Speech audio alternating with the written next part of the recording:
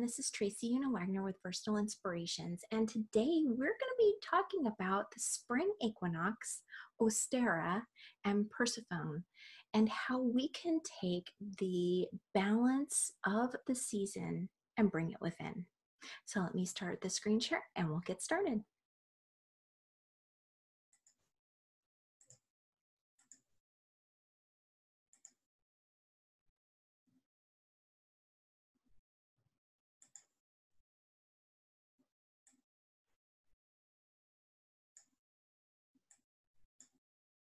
Wonderful. All right. So, what is the spring equinox? The spring equinox is when night and day are almost equal all around the world. During the spring equinox in the northern hemisphere, the southern hemisphere experiences their fall or autumnal equinox. In Wicca, it is Mabon. So, though the same night and day occurrence is the same. So we experience the exact same thing. It may be reversed, but because it's balanced or semi balanced, then we're experiencing the same kind of um, night and day balance, both here in the northern hemisphere and in the southern hemisphere. Many cultures celebrate these traditions, rituals, and festivals that welcome in the spring equinox. From ancient to modern times, the equinoxes mark a time of either sowing to create abundance or reaping the rewards of a bountiful year. Spring is considered a time of rebirth, new beginnings, and fresh starts.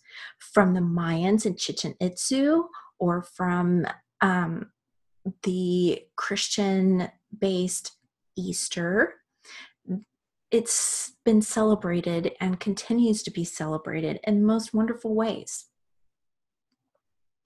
Ostara and Persephone. So, what do they have to do with the spring equinox?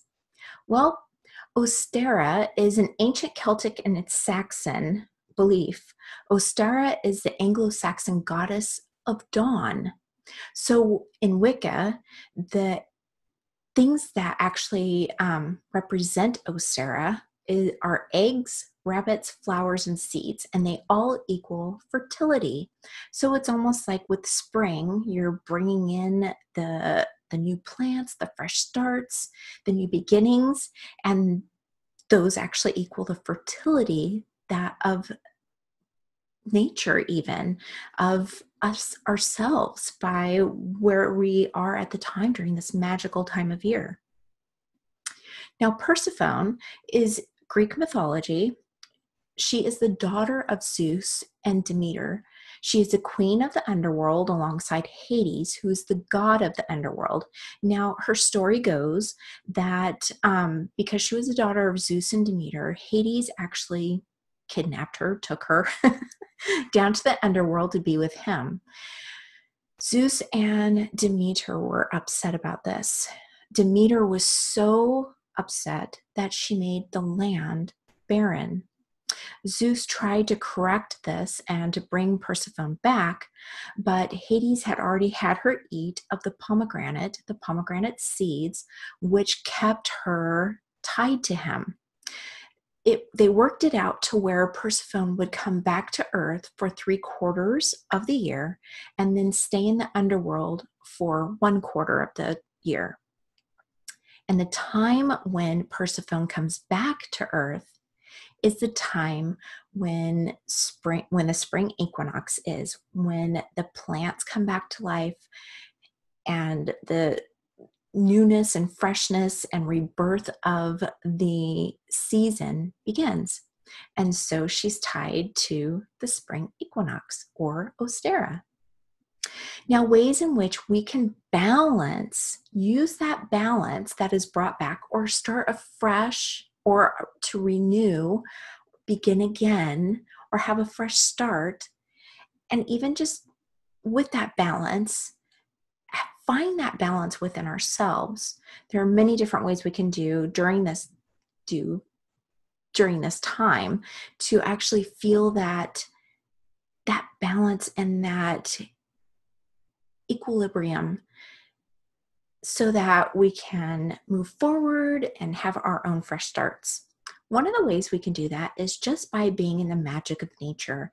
Now, the magic of nature, you can see very directly the result of the spring equinox. Um, some of us turn our clocks, spring forward our clocks, we move forward, and that light of day actually starts earlier. So we get the light of day and we're able to maybe feel a little bit fresher in the morning because we have that light. We're not getting up in the dark. And that magic of nature, just seeing the crocuses come through or seeing the buds on the cherry trees, just it's a wonderful time. And it's so magical to see everything start anew and afresh. So just by being in nature helps to balance our ourselves. We can plant seeds. Now, March is a little soon to be planting outside some things, but we can plant seeds inside. I'm actually planting some uh, grass seed for the cats and some catnip, and I'm going to start those inside. And just seeing those little sprouts come through the soil is such a magical thing. Just being able to see that it's a fresh start, it's newness, it's rebirth. And so it's just a beautiful way of balancing our own emotions, of balancing ourselves, and realizing that we can start anew as well. Buying flowers. Flowers are uplifting. Flowers create a sense of just, you know, awe. It, the magic of nature and flowers. Flowers are amazing. They're beautiful and they just uplift your spirits and raise your energy uh, quite literally just by being in the same area of them. There it's a wonderful way to balance your own being here on earth and by allowing that freshness and that revitalization that the flowers bring when you bring them inside. Buy them fresh or cut. I prefer fresh. on the actual plant to cut flowers. I'm not a big cut flower fan, but um, I love the plants and having the plants produce those beautiful flowers. It's just a magical, beautiful thing. Also, we can wake up early because the sun comes out earlier, we can wake up earlier and we can feel that vibrancy that is in the air. You can actually hear the birds. The birds are out chirping and things are moving. People are out driving and just walking about earlier. And it's amazing. The energy just raises, the vibration raises.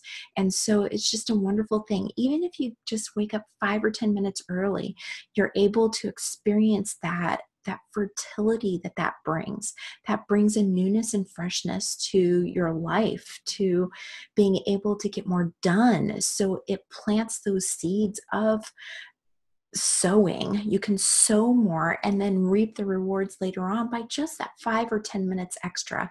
Use it in a productive way and you've got a lot more done. So it's just it's amazing that that time of waking up early because we're able to maybe coincide with the um, nature a little bit more with the sun coming up a little bit earlier and going down a little bit later. So we're able to have a little bit more time through the day, and it just brings a new vibrancy to your day.